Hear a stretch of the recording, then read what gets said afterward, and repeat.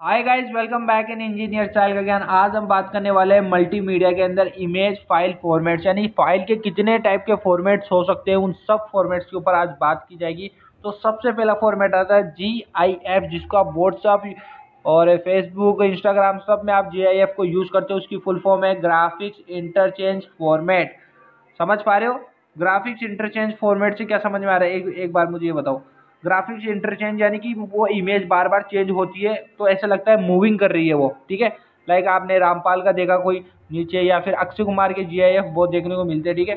तो इसके अंदर क्या है जी कितने कलर्स को सपोर्ट करता है? 256 कलर को सपोर्ट करता है, ठीक है? पहली बात तो। और ये बहुत पॉपुलर है GIF मार्केट में, आप सभी को पता है। अगर किसी इमेज का कलर 256 से लेस है तो जीआईएफ उसको इजीली रेंडर कर सकता है, यानी चेंज कर सकता है without any loss of the quality okay ये चीज़ का ध्यान रखें। दूसरी बात कि जीआईएफ फॉर्मेट लॉस लेस है, यानी कि किसी भी प्रकार से क्वालिटी के साथ कोई भी बदलाव नहीं होगा, ठीक है? अगर कि कोई इमेज आपकी 256 या उससे कम की है कलर की। और in rich true colour GIF में लॉस 99 परसेंट ऑफ़ कलर और मतलब ऐसा मान लो बहुत ज़्यादा कलर आपने यूज़ कर रखा है किसी इमेज में तो 99.9 परसेंट ही रहेगा। बाकी point zero zero two percent changes देखने को मिलेगा, बाकी देखने को आपको नहीं मिलेगा। Okay the provisional allow the background colour to the web to be shown through the picture और इसमें इंपॉर्टेंट चीज़ देख लो आप फटाफट से जीआईएफ की। तो G I F allow single B transparency that is when you are creating an image you are specify which colour is to be transparent okay so single B transparency पर work करता है allow करता है G I F next one है J P E जी J P E जी भी सुना होगा आपने। सो जे पी ई जी होता है joint photographic experts group okay so J P A G are bit mapped image bit bit map image मैंने पिछले में बताई थी आपको, वही है, ये और कुछ नहीं है जेपीजी और it store information of 24 bit colour की जो भी आपकी इमेज है, उनको स्टोर करने में काम आता है। जी जेपीजी आपका।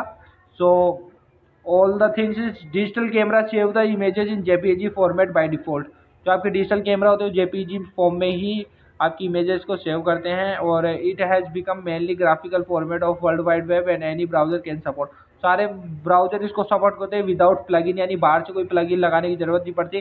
तो जीआईएफ बहुत अच्छा है, ठीक है? JF image work much better than G, oh, sorry JPG sorry JPG image work much better than GIF GIF से बढ़िया वर्क करती है JPG आपकी okay then all the things आप पढ़ सकते हो इसके अंदर क्या क्या देखने को मिलता है। PNG PNG भी सुना होगा आपने portable network graphics so it is only a lossless format that web browser support and PNG आपने देखा होगा जब एच में आप कोड करते थे तो पीएनजी फॉर्मेट में ही क्या करते थे फ़ाइल को सेव करते थे ताकि आपकी वो वेबसाइट के ऊपर वो फ़ोटो शो करती थी। तो उसका रीज़न ये है कि ये लॉस लेस फॉर्मेट है, यानी कि लॉस नहीं होता इमेज का, कितनी भी क्वालिटी की इमेज लगाओ, इसलिए पीएनजी फॉर्मेट में यूज़ करते हैं अपन एच टी के अंदर। सो ये सपोर्ट करता है eight bit twenty four thirty two forty eight गजब। तो आपका इसमें P N G eight bit है, वो जी आई एफ़ के सिमिलर है। इसी प्रकार ट्वेंटी फोर वो है another flavour of P N G ठीक है? ट्वेंटी फोर बिट यानी twenty four bit colour support करेगा। इसी प्रकार थर्टी टू बिट आता है और एक आता है forty eight bit P N G के अंदर। नेक्स्ट वन है T I F F tagged image file format so ये कॉरपोरेशन ने एक नाइनटी एटी में बनाया गया था by supported by the Microsoft इतना फ़ेमस नहीं है, ये भी बिटमैप फ़ाइल फॉर्मेट के लिए ही यूज़ किया जाता है। तो इसके अंदर आप फटाफट से देख लो, एक बार मैं आपको एक्सप्लेन कर देता हूँ। ओके सो इसके अंदर जो है आपका T I F can store में डिफरेंट टाइप्स ऑफ़ इमेज जिंग फ्रॉम वन बिट से लेके ट्वेंटी फोर बिट तक ये स्टोर करता है, ठीक है? फ्लेक्सिबल फॉर्मेट है, इसको चेंज मतलब एक से दूसरे फॉर्मेट में चेंज करोगे तो आसानी से चेंज हो जाएगा, ओके? एंड, ठीक है also T I F format is now use and control by Adobe Adobe software सुना होगा, उसके अंदर टी आई एफ़ फॉर्मेट ज़्यादा यूज़ किया जाता है। बी एम पी यानी bitmap bitmap format is a very basic format supported by most of Windows application and one bit image greys grey scale colour, eight bit, twenty four bit के अंदर use किया जाता है। Uncompressed होते यानी इसको compressed नहीं किया जाता है। And, but B M P file को कंप्रेस कर सकते हैं यूजिंग आपको लॉसलेस एल्गोरिथम यूज़ करनी पड़ेगी डेटा कंप्रेशन की। उसके थ्रू आप ये सब कर पाओगे। नेक्स्ट वन के ऊपर चलते हैं अपन। E P S encapsulator port script ऐसे ही है। एंड पी डी एफ़ देख लेते हैं, ठीक है? PDF is a vector graphics vector graphics with embedded pixel, graphics with many compression option यानी कि जैसे पीडीएफ फॉर्म में आप क्यों करते हो ताकि उसमें जूमिंग भी करते हो तो पिक्सल फटता नहीं है? क्यों? क्योंकि ये वेक्टर ग्राफिक्स के फॉर्मेट होता है एक तरह से पीडीएफ दैट इज़ वाई और बहुत ज़्यादा प्रचलन में है आपके सारे नोट्स पीडीएफ में देखने को मिलते हैं. ओके एक होता है आपका एक्सचेंज इमेज फ़ाइल ऐसी होता है आपका विंडो मेटा फ़ाइल ये दोनों आप रीड आउट कर लेना लिंक डिस्क्रिप्शन में दे दिए वैसे. अब बात करते हैं कैरेक्टरिस्टिक्स ऑफ़ मल्टीमीडिया ये भी इसी भी वीडियो में देख लेते हैं. ठीक है। ये एक, पहली बात तो मल्टीमीडिया सिस्टम मस्ट भी कंप्यूटर कंट्रोल यानी कंप्यूटर कंट्रोल होना चाहिए। दूसरी बात सिस्टम आर इंटीग्रेटेड यानी काफ़ी सारी चीज़ें आपस में ऐड हो जाए लाइक पीडीएफ टू उसमें कन्वर्ट करना है, उसको उसमें से कन्वर्ट करना तो ईजिली हो जाए।